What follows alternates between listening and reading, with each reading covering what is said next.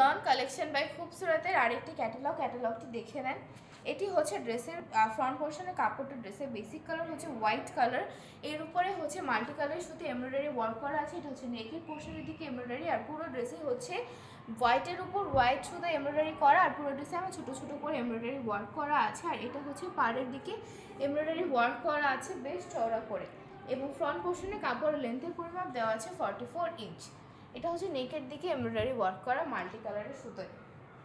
অনেকটা হচ্ছে কাঁথা স্টিচে এমব্রয়ডারি করা আছে।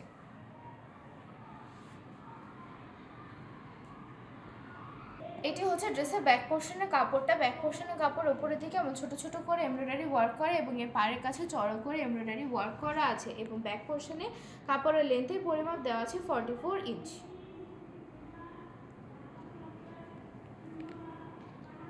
এটি হচ্ছে ড্রেসের স্লিভসের অংশের কাপড়টা স্লিভস অংশের কাপড়। ওপরের দিকে আবার ছোটো ছোটো করে এমব্রয়ডারি ওয়ার্ক করা আছে এবং এর পাড়ের কাছে চড়া করে এমব্রয়ডারি ওয়ার্ক করা আছে। স্লিভসের কাপড়ের লেন্থের পরিমাপ দেওয়া আছে টোয়েন্টি ফাইভ ইঞ্চ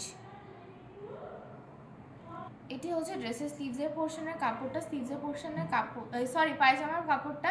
পায়জামার কাপড়টা হচ্ছে হোয়াইট কালারে পায়জামা কাপড় দেওয়া আছে।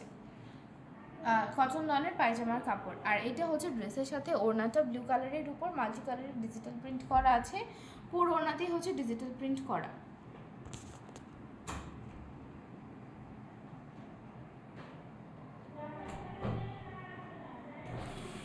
আপনার আপনারা পুরো ড্রেসের ভিউটা একবার একটু দেখে নেন। ড্রেসের বেসিক কালার হচ্ছে হোয়াইট কালার উপর মাল্টি কালারের সাথে এমব্রয়ডারি ওয়ার্ক করা আছে। ড্রেসের সাথে পায়জামাটা হচ্ছে কটন লনের ওনাটা হচ্ছে শিফনের এবং পুরো ফ্রন্ট পোর্শনে হচ্ছে এমব্রয়ডারি ওয়ার্ক করা আছে।